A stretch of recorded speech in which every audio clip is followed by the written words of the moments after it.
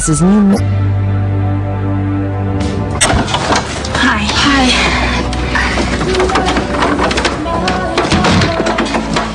Could have used your key. Oh, um, I left it on the bench for you the other night. Oh.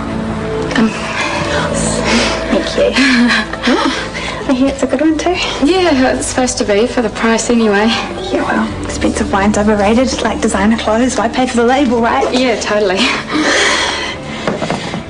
But I don't know what I'm talking about.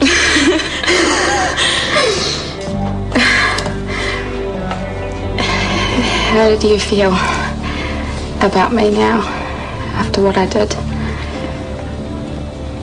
Are you not so angry?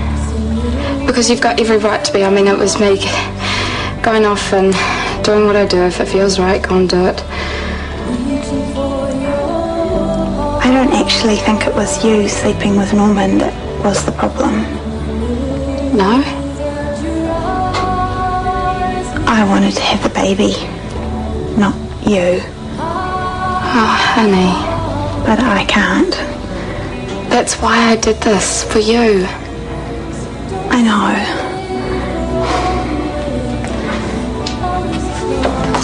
I couldn't watch from the sideline while you and Norman played happy families and me some glorified aunt.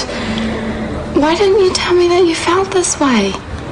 Thought you'd laugh at me. I would never do that. And what I did was wrong, and I am so sorry for hurting you. Oh, oh, baby.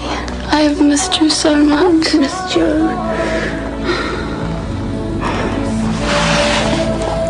Where do we go from here? Um.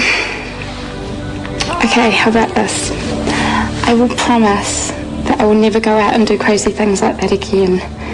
If you promise me that you'll tell me what's going on in that pretty head of yours. How's that? Well, those promises will be much easier if you move back home.